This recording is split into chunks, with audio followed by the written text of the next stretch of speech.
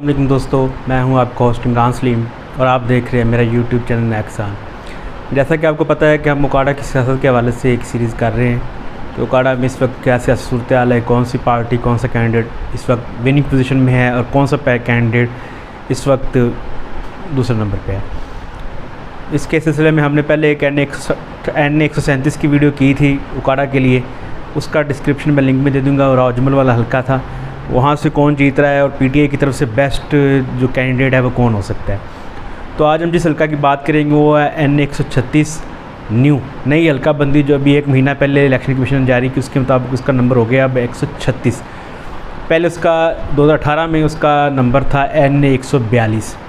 तो एन एक सौ बयालीस की मौजूदा जो सूरत बता दूँ कि यहाँ से 2018 के अंदर मियाँ चौधरी रियाजुल हक जो हैं, वो यहाँ से एम एन ए हुए, एक लाख चालीस हज़ार वोट लेके।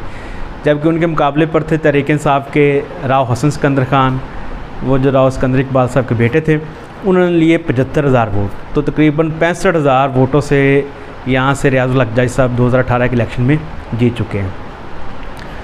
तो आज हम इस हल्के की मौजूदा सूरत हल्के बारे में बात करेंगे। तो पहले थोड़ा सा मैं इस हल्के का इंट्रोडक्शन करवा दूँ कि हिस्ट्री के लिहाज से ये हल्का राव हसन राव हसन के वाले जो हैं, राव सिकंदर इकबाल उनके और मियाँ मोहम्मद ज़ुमान जो हैं, उनके दरमियान ये तारीख़ी तौर पर हल्के में यहाँ पे इलेक्शन होते रहे हैं और एक दूसरे के मुकाबले में जीतते रहे हैं।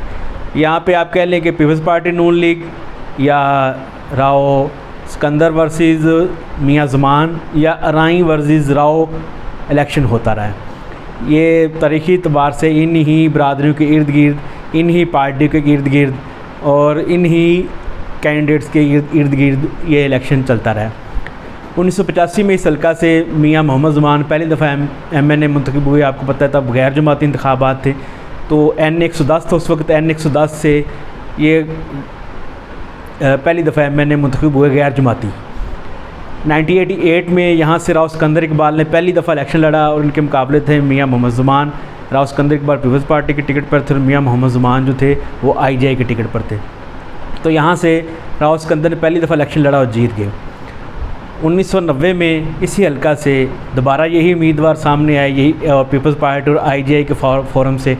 और इस दफ़ा मियाँ मोहम्मद ज़ुमान ने शिकस्त दी राव सिकंदर इकबाल को। फिर 1993 में इलेक्शन हुए तो वापस राव सिकंदर इकबाल इस हल्के से जीते और मियाँ मोहम्मद ज़ुमान को शिकस्त हुई। 97 में फिर उल्ट हुआ और मियाँ मोहम्मद ज़ुमान जीते और राव सिकंदर को शिकस्त होगी 2002 के अंदर जब इलेक्शन हुए तो मियाँ मोहम्मद ज़ुमान जो थे वो बीए की शर्त पूरी नहीं करते थे, शायद वो मैट्रिक भी नहीं थे उनके, जो मुखालफिन कहते हैं। तो वो इलेक्शन से बाहर हो गए और फिर यहाँ पे इलेक्शन हुआ राव हसन सिकंदर के मुकाबले में। राना इकराम रबानी ने इलेक्शन लड़ा मुस्लिम लीग काफ की तरफ़ से।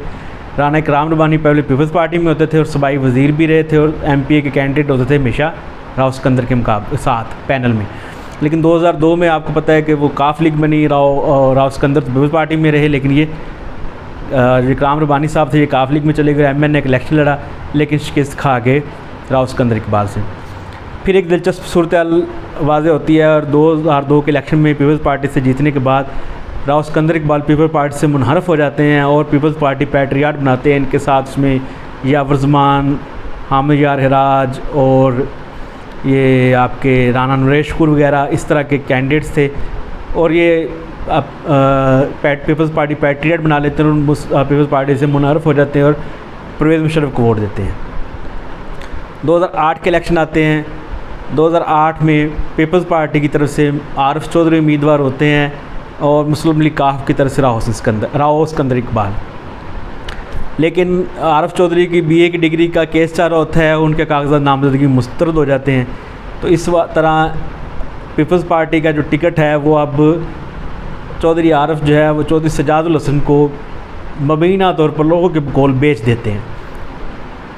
चौधरी सजादुल हसन के बारे में बताता जाऊँ कि वो एक काउंसलर लेवल के या एक नाजम लेवल के उम्मीदवार थे और उन्होंने बरदरीज़म पे और पीपल्स पार्टी की वे में, क्योंकि बेनज़ीर वफात हो चुकी थी, पीपल्स पार्टी का टिकट हॉट केक की तरह चल रहा था। उन्होंने पैसे दे के मुबीना तौर पर लोगों के कहने के मुताबिक चौधरी आरफ से वो टिकट ले लिया और आज़ाद, यानी कि जीते तो आज़ाद, लेकिन वो उन्होंने वादा किया था मैं पीपल्स पार्टी में शामिल हो जाएँगे और वो पीपल्स पार्टी में शामिल हो गए।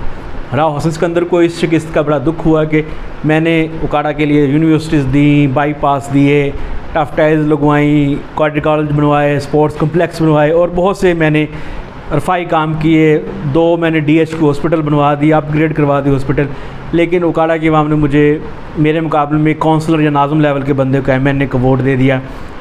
तो इसी लोगों के मुताबिक, इसी कर्म में, इसी तकलीफ़ में वो वफात पा गए। 2013 के इलेक्शन आए, चौधरी आरफ नू पीपल्स पार्टी छोड़कर नून लीग में आए। और उनका केस उस वक्त भी डिग्री का चाह रहा था, लेकिन उन्हें इलेक्शन लड़ने की इजाज़त दी गई। आरफ चौधरी ने ये सीट जीत ली और इनके मद्द मुकाबल राव सिकंदर इकबाल की जो बीवी थी, बेवा थी, वो लड़ी और वो उनसे शिकस्त खा गई। राव चौधरी आरफ जो है, वो पहली दफ़ा एम एन ए मुंतब इससे पहले वो एम पी ए मुंतखब हो चुके थे, लेकिन पहली दफ़ा एम एन ए का उन्होंने मज़ा चखा और एम एन ए बन गए। लेकिन 2015 में उनकी जो डिग्री का केस पेंडिंग था, वो केस फिर सामने आ गया और सुप्रीम कोर्ट से उनकी आखिरी अपील भी मुस्रद होगी और वो हमेशा हमेशा के लिए इलेक्शन पॉलिटिक्स से बाहर हो गए नायल हो गए अब वहाँ पे ज़मनी इंतखब होते हैं। नून लीग, अली आरफ चौधरी, जो आरफ चौधरी के बेटे उन्हें टिकट देती है। पीटीआई मोहम्मद अशरफ खान सोना, जो पीपल्स पार्टी के सूबाई वज़ीर भी रहे हैं। दो दफ़ा एमपी रहे थे, उन्हें टिकट देती है। और एक आज़ाद उम्मीदवार रियाजुल हक जज पहली दफ़ा इलेक्शन लड़ते हैं। इसमें जो पीटीए के एक ही वाद 2013 के इलेक्शन में जो M N M P A जीते थे, उकाड़ा की तहसील से, उकाड़ा के डिस्ट्रिक्ट से चौधरी मसूद शफकत रुबेरा, वो इस इलेक्शन में आज़ाद उम्मीदवार रियाजुल्लक जज की सपोर्ट करते हैं। रियाजुल्लक जज एक इंडस्ट्रीज़ हैं, उनकी फैमिली बहुत बड़ी इंडस्ट्री चलाती है उकाड़ा में। तो उनके साथ थे, वो इलेक्शन लड़ते हैं और मसूद शफकत उनका सपोर्ट करते हैं। और इलेक्शन में आरफ चौधरी दूसरे नंबर पे आते हैं और रियाजुल्लक जज उन्हें तकरीबन पैंतालीस हज़ार वोटों से शिकस्त दे देते हैं। अशरफ सोना जो है पीटीए के उम्मीदवार, वो उनकी ज़मानत जब्त हो जाती है, वो तकरीबन छः सात हज़ार वोट ले पाते हैं।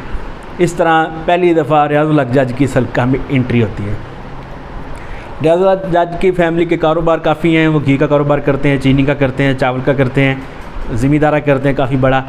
तो उनका एक एक अपना सेटअप है, उनके मुलाजमीन हैं, फिर वो एक महाना लाखों करोड़ रुपये की अशर रोज़गार निकालते हैं।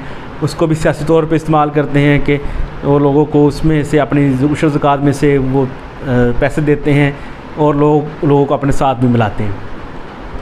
और इस वजह से वो एक ऐसी फोर्स और ऐसा एक पैनल बना लेते हैं इलाके के अंदर। और पुराने जितने भी जो कैंडिडेट होते हैं, वो इतने नकमे और नहल होते हैं कि उनके मुकाबले में रियाज जज बड़ी तेज़ी से मकबूल पाते हैं और उकाड़ा की सियासत को मुकम्मल गिरफ्त में ले लेते हैं। दो हज़ार अठारह का इलेक्शन आता है, रियाज जज नून लीग के टिकट पर लड़ते हैं और पीटीआई के टिकट पर राव हसन सिकंदर लड़ते हैं। हालाँकि रियाजुल जज के पैनल में एक एम पी ए का उम्मीदवार कमज़ोर होता है वो चौधरी मुनीबुल हक को लेते हैं जो सबक एम पी ए हक के बेटे हैं। और वो पहली दफ़ा इलेक्शन लड़ते हैं और वो इलेक्शन जीत जाते हैं। इससे आप रहो इससे आप हसन सिकंदर की आ, क्या कहते हैं रियाजुल जज की इलाका में ग्रिप का अंदाज़ा लगाएँ कि वो कमज़ोर कैंडिडेट के साथ बीस पैंसठ हज़ार वोटों की लीड से जीत जाते हैं। ना खुद ना सिर्फ़ खुद जीतते हैं बल्कि उस एम पी के कैंडिडेट को भी जितवाते हैं। वो भी तकरीबन पच्चीस हज़ार वोटों की लीड से जीत जाता है अपने हल्का से। अब आते हैं जी मौजूदा सूरत हाल की तरफ़ कि मौजूदा सूरत हाल क्या है और पीटीए के पास कौन कौन से कैंडिडेट हैं और उनमें से अच्छा कैंडिडेट कौन है? या कैसे इस हल्का में रियाजुल जज जो कि सो कार्ड के उनको हराना नामुमकिन है, उसको हराया जा सकता है? तो उसकी तरफ़ आते हैं। सबसे पहले तो पीटीए की तरफ़ से जो कैंडिडेट हैं, जो सीरियस कैंडिडेट जिन्हें मैं कहता हूँ हमेशा वो सीरियस कैंडिडेट की दाद चार हैं। तो चार कैंडिडेट हैं जी, राव हसन सिकंदर, क्योंकि वो राजपूत बरदरी और राव बरदरी के वोट का एक उनके पास है। फिर उसके बाद दूसरे नंबर पे हैं चौधरी मसूद शफकत बेरा साहब, जो तीसरे नंबर पे हैं चौधरी अब्दुल्ला तैर और चौथे नंबर पे हैं मैर अब्दुलसत्तार अब इन, इस वाले से बात कर लेते हैं कि पहले नंबर पर राव हसन सिकंदर। राव हसन सिकंदर ने पिछली दफ़ा पचहत्तर हज़ार वोट लिए, बिल्कुल कमज़ोर कंपेन की, कोई ख़ास कंपेन नहीं की और कंपेन के बाद इलेक्शन के बाद भी बिल्कुल इनएक्टिव रहे, कोई डेवलपमेंट के काम नहीं लिए इन्होंने हल्का में, कोई इन्होंने लोगों से रबता नहीं रखा, कोई खुशी गमी में शामिल नहीं हुए। कोई पार्टी लेवल पे भी इन्होंने इतनी सरगर्मी नहीं दिखाई। और बिल्कुल डॉर्मेंट तरह डॉर्मेंट रहे और मेरे ख्याल में वो इस दफ़ा एक इंतहाई कमज़ोर कैंडिडेट हैं। शायद उनके साथ इस दफ़ा इस वक्त किसी भी यूनियन कौंसिल का एक भी चेयरमैन या एक भी कौंसलर उनके साथ नहीं है। तो वो एक डेड हॉर्स हैं उनके साथ को उनको ऊपर फोकस करना मेरे ख्याल में बिल्कुल फजूल है। वो एम एन एम दोनों के किसी भी किस्म के टिकट के हकदार मेरी नज़र में नहीं है। दूसरे नंबर पे आ जाते हैं चौधरी मसूद शफकत बेरा साहब। उनका पहले जो हल्का था वो नदीम बास और बेरा वाला उनका, वो पुष्ट वहाँ से तो शमशाम बुखारी वाले हल्के से एम एन ए लड़े थे। लेकिन एन ए एक सौ इकतालीस, पुराना एन एक सौ चालीस, अब वो एन एक सौ पैंतीस हो गया। लेकिन वो वहाँ से मूव कर गए हैं एन एक सौ छत्तीस में, क्योंकि जो नई हल्का बंदी जारी की है, इलेक्शन कमीशन ने उसके मुताबिक उनका जो हवाई इलाका, उनका गाँव, उनके यूनियन कौंसल, उनके इलाके, तीन यूनियन कौंसल जो है तकरीबन मेरे ख्याल के मुताबिक, जो मैंने स्टडी की उसके मुताबिक वो अब उकाड़ा शहर के साथ अटैच हो गए। तो इसमें तकरीबन पंद्रह हज़ार वोट से बीस हज़ार वोट के दरमियान वोट ऐसा वोट है जो कि इनकी बरदरी का है या इनके ज़ेर असर है। तो वो वोट अब इधर आ गया। मेरे ख्याल में ये एक सीरियस कैंडिडेट हैं इस वक्त एम एन ए की पोजीशन के लिए। इस एन ए एक सौ छत्तीस जो नई हल्का बंदी उसके मुताबिक। तीसरे नंबर पर हैं चौधरी अब्दुल्ला तैयार साहब। चौधरी अब्दुल्ला तैयार और मैं रदुस्तार को मैं इंटरलिंक करता हूँ क्योंकि ये दोनों एक ही समझ लें कि फैमिली है, एक ही ग्रुप है। मसला ये है कि 2018 के इलेक्शन में चौधरी अब्दुल्तार ने इलेक्शन लड़ा और चौधरी और मैं अब्दुस्तार ने इनकी सपोर्ट की, क्योंकि मैं अब्दुस्तार उस वक्त जेल में थे और उन्होंने अपने साथियों को कहा कि आप चौधरी अब्दुल्तार की सपोर्ट करें। अब जो इस वक्त 2018 की सूरत से मुख्तलिफ़ हो गई है, दो हज़ार तेईस में सूरत मैं रदुस्तार तमाम मुकदमा से भरी हो चुके हैं और वो हल्के में हैं और वो भी कह रहे हैं कि मैंने इलेक्शन लड़ना है और चौधरी अब्दुल्तार भी कह रहे हैं कि मैंने इलेक्शन लड़ना है और सीट इंडी दोनों के पास बेसिकली एक है। इसका ये मेरे ख्याल में उन्होंने हाल निकाला है कि शायद चौधरी अब्दुल्ला तार एम एन ए की सीट पर चले जाएँ और मैं Abdussattar M N M P पे आ जाएँ। या कि फिर मैं एन ए पे चले जाएँ और अब्दुल्ला ताहिर एम पी पे आ जाएँ। इन दोनों पोजीशनों में से मेरे ख्याल में अगर अब्दुल्ला ताहिर साहब एम एन ए पे जाते हैं और मैं अब्दुस्तार एम पी ए पे आते हैं तो हमारे लिए ज़्यादा बेहतर है। तो ये भी एक अच्छा चॉइस हो सकती है। चौधरी अब्दुल्ला ताहिर भी एम एन ए के लिए एक अच्छे चॉइस हो सकते हैं। मैं रदुस्तार के वाले से मैं ये कहूँगा कि उनके पास वोट है, वर्कर बंदे हैं, लेकिन उनके पास इलेक्शन लड़ने के लिए सरमाया बिल्कुल नहीं है। वो एक मिडिल क्लास बल्कि लोअर मिडिल क्लास के अवामी बंदे हैं, उनके पास पैसा नहीं है। अब्दुल्ला तार साहब जो हैं, वो एक बहुत बड़े बिजनेसमैन हैं, उनके पास पैसा है इलेक्शन लड़ने का और उन्होंने इलेक्शन लड़ा है और उन्हें इस वक्त एक कह लें कि अवामी उनकी एक अवाम में एक उनकी तारफ़ भी है। अब जो सूरत हाल है, इसमें ये सवाल पैदा होता है कि कौन सा पैनल खड़ा किया जाए जो कि रियाजुल अजाज को टफ़ टाइम दे सके। तो सबसे पहले तो मैंने जो एन एक सौ सैंतीस की वीडियो में भी कहा था अजमल को हराने के लिए पीटी के तमाम छोटे बड़े जो लीडरान हैं, उन्हें एक दफ़ा इकट्ठा होना पड़ेगा। अगर वो इकट्ठा होकर इलेक्शन नहीं लड़ेंगे तो कभी भी नहीं जीत सकते। तो इस हल्का के वाले से भी मैं यही कहूँगा कि अगर इस हल्का में आपने इलेक्शन जीतना है तो आपको इकट्ठा होना पड़ेगा। राव हसन सिकंदर हों, उसके अलावा आपके मसूद शफ़त रबेरा हों, चौधरी अब्दुल्ला तैर हों, महर अब्दस्तार हों, चौधरी सलीम सादक हों, शेख एजाज अनवर हों, या चौधरी वसीम हों, चौधरी शफीक हों, ये सब और लियाकत बोदला साहब हों और राव अशरफ साहब हों, राव अब्दुल जब्बार हों, जितने भी यानी कि प्रोमिनेंट बंदे हैं पार्टी के और जो धड़ा में एक ख़ास मुकाम रखते हैं, उन सबको पहले तो एक प्लेटफॉर्म पे इकट्ठा होना होगा और एक कैंडिडेट एक पैनल नामजद करना होगा। मसला ये आ रहा है कि जो दोनों एमपी के कैंडिडेट हैं इस हल्का के पुराने जो 2018 के अंदर चौधरी सलीम सादक को चौधरी अब्दुल्ला ताज जिन्होंने अच्छी फ़ाइट भी दी थी और नून लीग के लोगों को, वो दोनों मसूस शफकत के साथ इलेक्शन लड़ना नहीं चाहते, उन दोनों के, उनके ख़िलाफ़, उनके साथ कुछ इख्तलाफात हैं। इख्तलाफात उनके काफ़ी संजीदा नवीद के हैं और वो उनके साथ इलेक्शन लड़ना नहीं चाहते। जबकि जो मसूद शफकत रबेरा साहब है, उन्होंने एम पी ए के लिए अपना कैंडिडेट दे दिया है, वो राव अब्दुलरमान को एम पी का कैंडिडेट बना के बैठे हैं और उनके साथ कंपेन कर रहे हैं। तो अगर ये सूरत रहेगी तो फिर वही मुर्गे की एक टांग वाली सूरत होगी कि पार्टी आपस में लड़ती रहेगी और दोबारा बड़ी लीड से रियाजुल जज इलेक्शन जीत जाएँगे।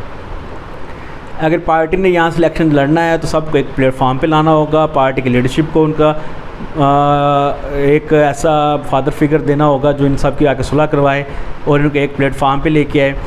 और अगर रियाजुल जाए, क्योंकि अब इलेक्शन लड़ना है तो फ़ौर से पहले पैनल का ऐलान करके टिकट का ऐलान किया जाए।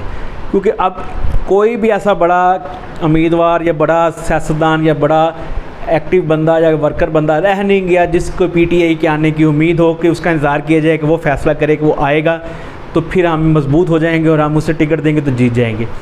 ये इतने भी जो कुछ ना कुछ अपना असर रसूख रखते हैं बंदे, वो सभी के सभी पहले ही पीटीआई के अंदर हैं। अब कोई नया आने वाला मार्केट में कोई और बंदा नहीं रह गया। तो इस हवाले से हमें कोशिश करनी चाहिए कि पार्टी को जल्द अज जल्द टिकट जारी करें। एक ताकि पैनल को पता हो कि कौन सा पैनल लड़ रहा है, वो छः माह, पाँच माह, चार माह, जितना भी टाइम अभी मिलता है, वो उसके दौरान अपनी कंपेन करें। पंजाब गवर्नमेंट है हमारे पास फंड्स मिलें और वो उसके ऊपर लोगों की काम करें और ताकि हम इलेक्शन में एक अच्छी पोजीशन में आ सकें। अगर तो वैसे ही लड़ते रहे तो फिर मेरा नहीं ख्याल कि राज जज जिस पोजीशन में हैं, वो हार सकते हैं। अब आखिर में मैं अपना जो कैंडिडेट जब अपना पैनल जो मेरी नज़र में, जो मेरी सोच में, जो मेरी ईमानदारी के मुताबिक जो पार्टी को सर्व कर सकता है और बेस्ट फाइट दे सकता है नून लीग को, वो ये है। एन ए एक सौ छत्तीस पर मेरे ख्याल में चौधरी मसूद शफकत रबेरा का हक बनता है। उन्होंने पहले भी पार्टी के लिए यानी कि हल्का छोड़ा है और पार्टी के कहने पर वो अपने हल्के से हल्के में आए तो उन्हें अब टिकट मिलना चाहिए, वो इसके हकदार हैं। एमपी की दोनों सीटों के लिए वो वही पुराने उम्मीदवार जो दो हज़ार अठारह में थे, जो सलीम सादक, उन्होंने बहुत ज़्यादा वर्क किया है। हर इवेंट में नज़र आए हैं, पार्टी को हर जगह रिप्रेजेंट किया है। इलाके में आवाम की खिदमत की है, काम करवाए हैं और हर वक्त लोगों को अवेलेबल थे। तो वो भी बेहतरीन चॉइस हैं। और दूसरी सीट पर चौधरी अब्दुल्ला तायर या मैर अब्दुस्तार आपस में जो पैचअप करें कि दोनों में से कौन इलेक्शन लड़ेगा? और मेरे ख्याल में चौधरी अब्दुल्ला तहर का ही हक बन रहा है इस वक्त, सलीम जो आपके मैर अब्दुस्तार हैं। वो एक वर्कर बंदे हैं पढ़े लिखे बंदे हैं, उनको आप सेनेट में भी एडजस्ट कर सकते हैं, वो किसान के लिए, मज़दूर के लिए, हारी के लिए, मज़ारे के लिए बेहतरीन आवाज़ बाँध सकते हैं। पढ़े लिखे बंदे हैं एमएससी की हुई है एग्रीकल्चर में एग्रीकल्चर फैसलाबाद से और बिल्कुल एक वर्कर की तरह का एक मुजाहिद किस्म का बंदा है। उन्हें अगर पार्टी चाहती है कि ऐसी बात सेनेट में पहुँचे जो किसानों, गरीबों और मज़ारों की बात करे तो वो बेहतरीन चॉइस बन सकते हैं और वो इस तरह ये हमारा जो ये वाली सीट है ये इसमें हम अच्छी पोजीशन में आ सकते हैं। तो ये था जी मेरा इस हल्का के वाले से जजिया। ये हमारा इस सीरीज़ का दूसरा वीडियो थी। इसके बाद मैं आपके लिए इन शाला एन ए एक सौ पैंतीस का रिव्यू लेके आऊँगा, जहाँ से शमशाम बुखारी और नदीम बास रुबेरा वो पिछली दफ़ा इलेक्शन लड़े थे और चौधरी खलील रहमान साहब थे, वो आज़ाद उम्मीदवार थे। आप इस उस हल्के की क्या पोजीशन है, वो अगली वीडियो में बताएँगे। आपके कमेंट्स आपके सजेशन को मैं वेलकम करूँगा कि आप मुझसे और कौन सी वीडियोज़ देखना चाहते हैं। मेरा इरादा है कि पहले उकाड़ा की एम की सीटें आपके साथ डिस्कस करूँ, फिर एमपी की सीटें डिस्कस करूँ, फिर उसके बाद उकाड़ा के मुजाफाती जो डिस्ट्रिक्स हैं, पाकपतन है, साहिवाल है, कसूर है, इनकी तरफ़ जहाँ पे मेरी नॉलेज है, उसके वाले से बात करूँ, फिर उसके बाद दूसरे जो मेन मेन हल्के हैं, जहाँ पे मैं समझता हूँ कि पार्टी की इस वक्त पोजिशन कमज़ोर है और पार्टी को कैंडिडेट्स की और पैनल्स की और क्या सूरत हाल है वो आप लोगों के शेयर करूँगा। आप अपनी राय से मुझे आगाह करते रहें। इन ताला आपको मैं इस हवाले से अच्छी से, अच्छे से वीडियो लाता रहूँगा। शुक्रिया।